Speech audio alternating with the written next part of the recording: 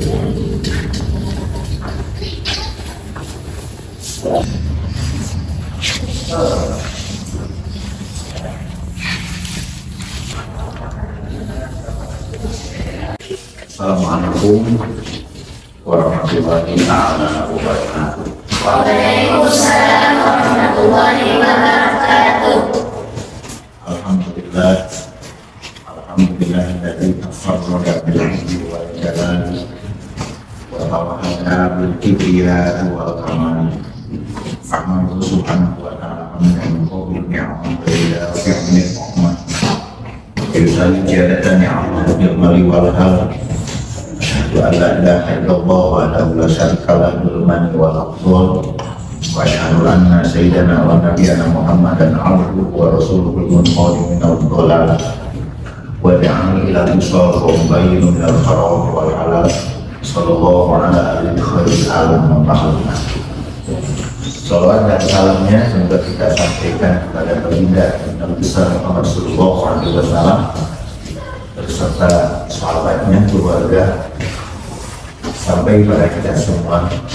Mudah-mudahan kita semua mendapatkan syafaat nanti di hari kiamat. Amin ya rabbal alamin.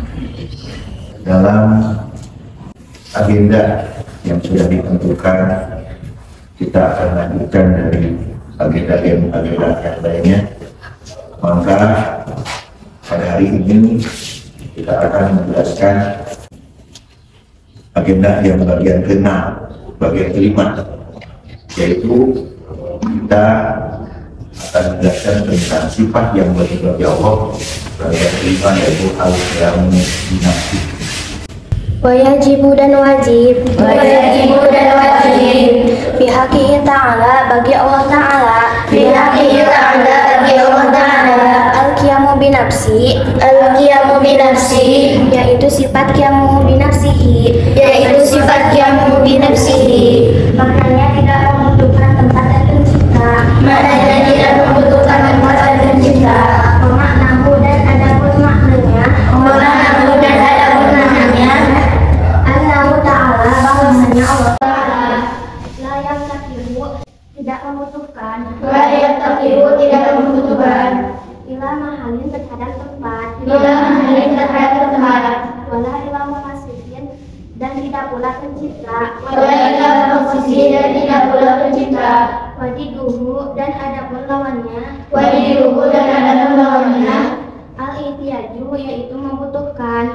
Al-ihtiyaju yaitu membutuhkan Ila mahalin terhadap tempat. Bila mahalin terhadap tempat.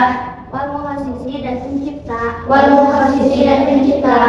Wadalilu dan adapun dalilnya. Wadalilu dan adapun dalilnya Ala dalika atas sifat yang mengombinasihi Hanya terdapat atas sifat yang mengombinasihi Anamu bahwasanya Anahu bahwasanya Lau ihtiyaju ya, Andai kata Allah butuh Kalau ihtiyaju andai kata Allah butuh Ila mahalin terhadap tempat Bila mahalin terhadap tempat Lakana sifatan tentu Allah sifat Lakana sifatan tentu Allah sifat Pokokmu sifatan dan adapun Allah sifat Pokokmu sifatan dan adapun Allah sifat Muhalun yaitu mustahil Mahalun yaitu mustahil Walau ihtaja dan jika Allah butuh Walau intada dan jika Allah butuh Al-Muhasisi terhadap pencipta? Al-Muhasisi terhadap pencipta? Lakana hadisan tentu Allah baru. Lakana hadisan tentu Allah baru. Pokokmu hadisan dan adanya Allah baru. Wawakmu hadisan dan adanya Allah baru. Muhalun yaitu mustahil. Mahalun yaitu mustahil. Ya, Alhamdulillah adik sekalian sudah bisa membacakan sementara tadi lau ihtaja bukan lau ihtiyaj yang dijawab tadi. Jadi innahu lau ihtaja karena ini ilmadi wa yajibu dan wajib bihakihi ta'ala bagi haknya Allah ta'ala. Al-qiyamu binafsi sifat al-qiyamu binafsi. Wa maknahu dan adapun maknanya sifat al-qiyamu binafsi annahu bahwa sesungguhnya zat Allah Subhanahu wa taala la yabtakiru tidak membutuhkan ila mahalin terhadap tempat. Wala ila muhosisin dan tidak membutuhkan terhadap pencipta. Wadiduhu dan adapun lawannya sifat al-qiyamu binafsi al-ihtiyaju yaitu butuh ilal mahali terhadap tempat wal muhosisi dan pencipta. Wadalilu adapun dalilnya ala dalika terhadap sifat al-qiyamu binafsi annahu bahwa sesungguhnya zat Allah Subhanahu wa taala lau ihtaja. Seandainya butuh Allah ila mahalin terhadap tempat lakana maka pasti adanya Allah sifatan sifat. Wa qanuhu dan adapun adanya Allah sifatan sifat muhalun yaitu mustahil. Walau ihtaja dan seandainya Allah butuh ila muhasisin terhadap pencipta lakana maka pasti adanya Allah hadisan yaitu baru wa kaunuhu dan adapun adanya Allah hadisan baru muhalun yaitu mustahil. Baiklah, adik-adik sekalian, kita akan menjelaskan sifat yang wajib bagi Allah yang nomor berapa? Lima.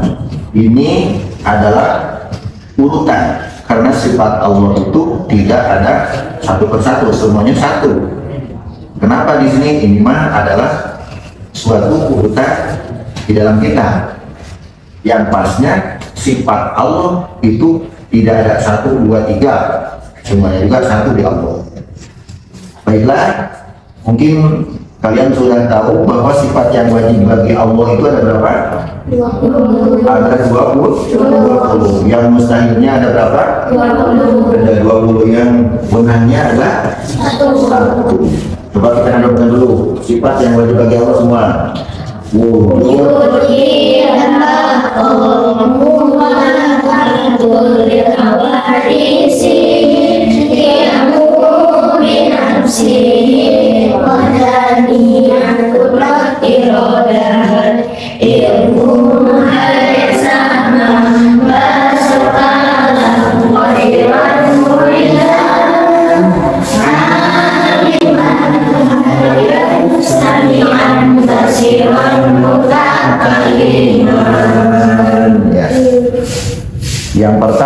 sifat yang wajib bagi Allah itu wujud. Yang kedua adalah tidak. Yang ketiga adalah Yang keempat adalah Qolafatulil Wanisi Yang kelima Dia binafsi Baiklah adik-adik kita jelaskan. Di sini katanya atau kalimatnya wayajibu bi hakihi ta'ala wayajibu dan wajib. Sudah dibaca? Wayajibu dan wajib fi hakihi ta'ala bagi Allah ta'ala al-qiyamu binafsi yaitu sifat al-qiyamu binafsi. Nah, sebelumnya kita bahas dulu kalimat wayajibu itu fiilnya fiil mudore kalimatnya fiil mudore kalau secara makna wajibu mungkin di dalam kitab fikih sudah dijelaskan definisinya wajib adalah ma yusabu ala fa'lihi wa yu'aqabu ala tarkihi. Yang artinya yusabu diganjar bagi orang yang mengerjakannya dan akan mendapatkan siksa bagi orang yang meninggalkannya. Itu wajib Nah, di sini hubungannya wajib di sini ada wajib secara akli. Artinya wajib akli adalah suatu kewajiban yang bisa dipekerti dan diterima oleh hati kita bahwa keyakinan kita terhadap Allah yang paling baik, yang paling bagus adalah dengan menggunakan dalil akli. Maka di sini wajibnya juga wajib akli bagi kita. Fi haqqihi ta'ala yaitu suatu kewajiban bagi haknya Allah Subhanahu wa taala. Nah, kalau berbicara hak Allah terhadap sifat al-qiyam binafsi itu tidak ada hubungan dengan makhluk. Artinya sifat yang ada di Allah al-qiyam binafsi itu walaupun makhluk tidak menerima dan tidak percaya terhadap qiyam binafsihi tetap Allah punya sifat al-qiyam binafsi. Jadi tidak ada gumantung kaitannya dengan makhluk. Mau percaya, mau yakin, mau tidak, tetap Allah mempunyai sifat al-qiyamu binafsi. Itu haknya di Allah. Al-qiyamu binafsi yang artinya Allah itu berdiri sendiri. Nah, Allah berdiri sendiri dengan sifat yang wajib di Allah berdiri sendiri nah Allah tidak ada hubungan dengan yang lainnya. Kalau ada kata berdiri ada yang mendirikan. Ada yang mendirikan. Tetapi Allah subhanahu wa ta'ala berdiri sendirinya itu dengan zat Allah sendiri.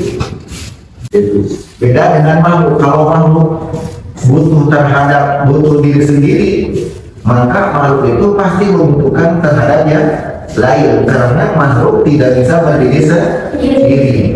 Nah di sini Allah aliyah binafsi yaitu Allah berdiri dengan dak sendirinya Allah dari dengan makhluk.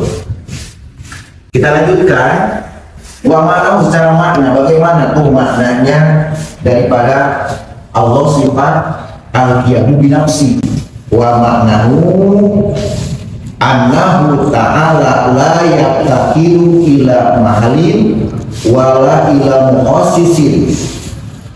Maknanya adalah annahu sesungguhnya zat Allah subhanahu wa ta'ala la yaqtakiru ila mahalin. Allah subhanahu wa ta'ala itu tidak butuh terhadap tempat. wala ila muqassisin dan Allah tidak butuh terhadap pencipta Beda dengan kita dengan makhluk. Kalau makhluk pasti membutuhkan tempat untuk bersandar dan kita butuh membutuhkan pencipta. Siapa pencipta kita? Allah. Allah Subhanahu Nah, kita membutuhkan sedangkan Allah tidak. Wa dalilu ala dalika. Nah, dalil dalil itu suatu kekuatan untuk menguatkan dakwaan kita. Maaf sedikit di dalam ilmu ma'ani dijelaskan bahwa setiap dakwaan itu pasti membutuhkan dalil. Nah, kita tadi mengakui bahwa Allah Subhanahu wa taala berdiri sendiri. Maknanya tidak membutuhkan terhadap tempat dan tidak membutuhkan terhadap pencipta, pencipta. apa dalilnya? Itu.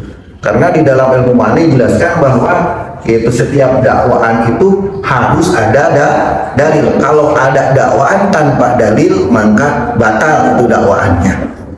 Jadi Allah subhanahu wa ta'ala al-qiyamu binafsi Aik, ana atlubu minka dalila ala sihati dakwaka. Oke, saya terima Allah itu berdiri sendiri, tapi saya minta dalil untuk mengesahkan dakwaan saudara. Itu. Apa dalilnya? Innahu lau itaja ila mahalin lakana si patah. Laukana seandainya Allah butuh terhadap tempat lakana sifatan. Lakana maka pasti Allah Subhanahu wa taala sifat. Wa kaunuhu sifatan. Nah sedangkan adanya Allah sifat muhalun yaitu mustahil Allah sifat mustahil. Sifat mustahil. Dan yang kedua walau kita jadilah muhasisin muhasisin dan seandainya jikalau Allah butuh terhadap pencipta la karena bisa. Tentu Allah baru. Tentu Allah baru. Wa muhadisan muhalun sedangkan Allah baru adalah mustahil karena yang baru butuh yang membarukan membarukan nah kita ulang sekali lagi dalil adanya Allah al-qiyamun itu adalah Jikalau seandainya Allah butuh terhadap tempat, maka pasti Allah itu sifat. Sedangkan kalau Allah sifat itu mustahil. Dan jikalau Allah butuh terhadap pencipta, maka Allah tersebut adalah baru. Sedangkan Allah baru adalah mustahil. Ini bertolak belakang dengan uh, hal sifat yang wajib Allah yang kedua bahwa Allah sifat yang wajib mempunyai kedua adalah kid kidah Allah itu wajib kidah mustahil Allah pak baru. Baru. Nah jadi kesimpulannya dari hal tersebut Allah subhanahu wa ta'ala berdirinya Allah tidak membutuhkan pada tempat dan tidak membutuhkan terhadap pencipta. Barangkali ada yang yang ada yang mau tanya tentang sifat Allah yang menyatakan bahwa Allah itu mempunyai sifat al nafsi secara artinya Allah tidak membutuhkan terhadap tempat dan tidak membutuhkan pencipta. Barangkali ada? Nah, saya mau bertanya, kalau seandainya Allah tidak butuh terhadap tempat, Allah berada di mana? Dan kalau Allah tidak menentu, dikira Allah tidak ada. Oh, bagus tuh pertanyaan. Ini memerlukan uh, pemikiran yang sangat jernih adik-adik. Uh, jikalau Allah tidak butuh terhadap tempat, Allah di mana? Dan yang yang kedua, kalau Allah tidak butuh, dikira Allah tidak ada. Nah, ini masalahnya. Nah, Allah itu tidak duduk di satu tempat. Bahkan juga ada pemahaman bahwa uh, Allah itu ada di satu tempat.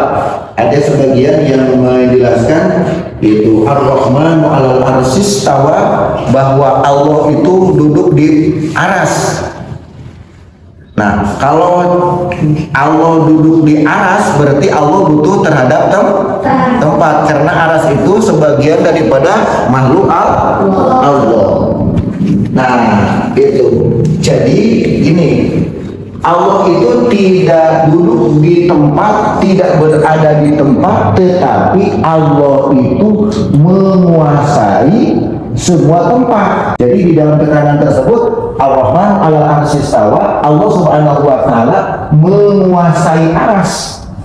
Ayat-ayat aras itu makhluk yang sangat besar, yang paling besar.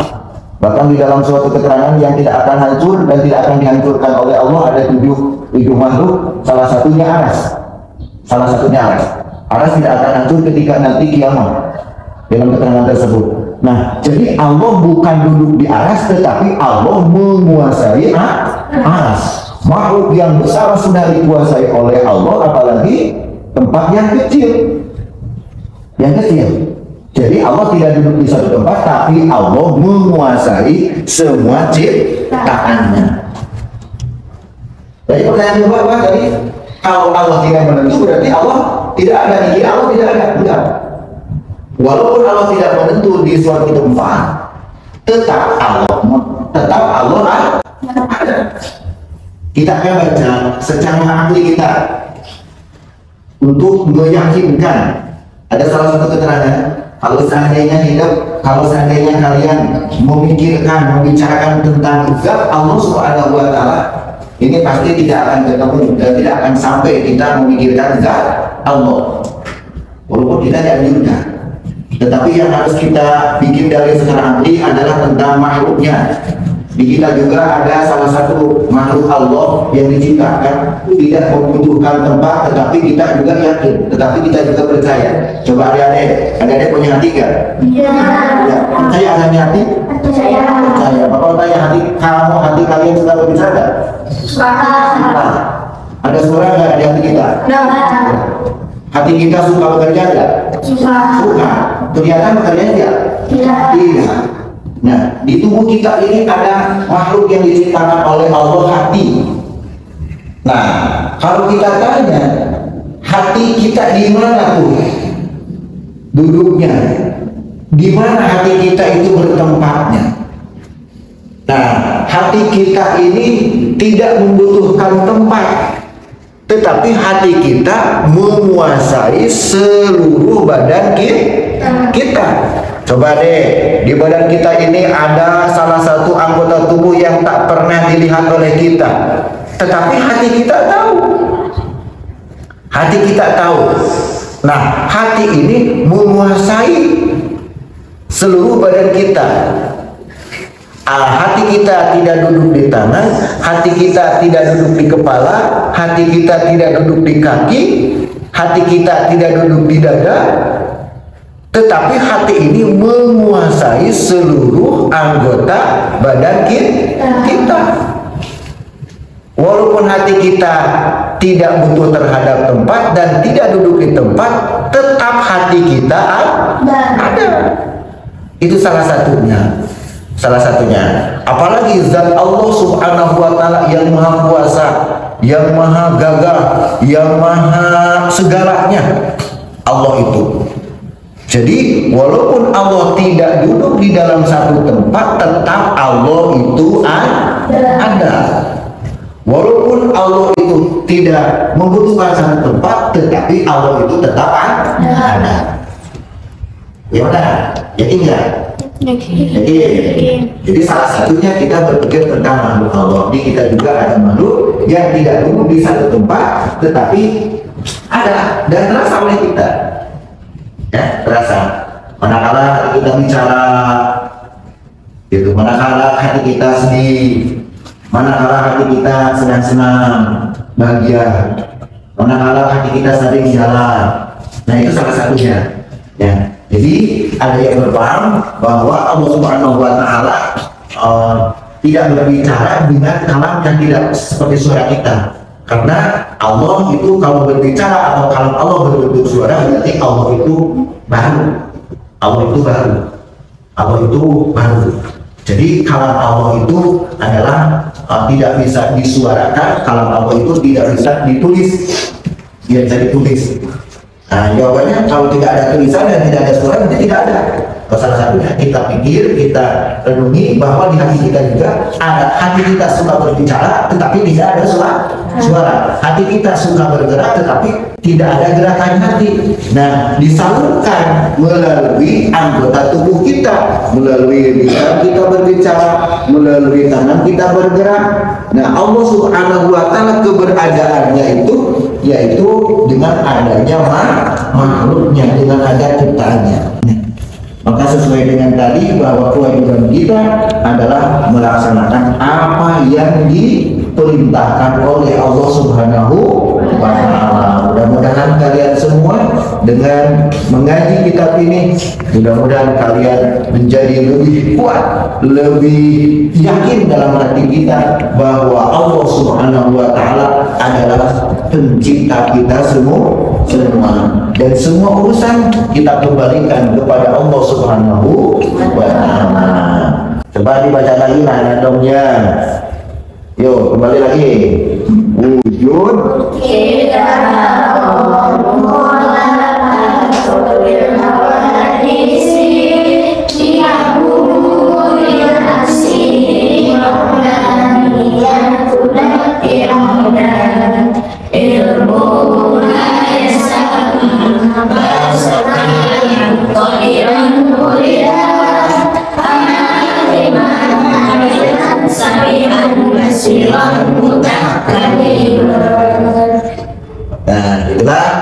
adik-adik sekalian eh, penjelasan tentang sifat yang wajib bagi Allah. Yang kelima yaitu al-qiyamu binafsi.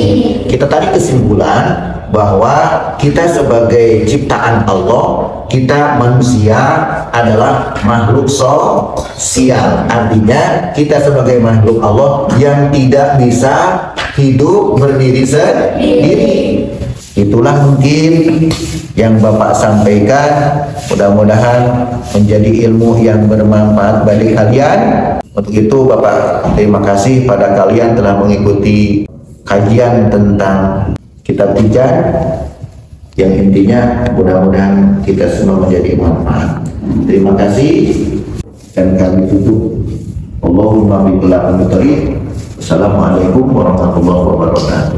Waalaikumsalam semua. Robbana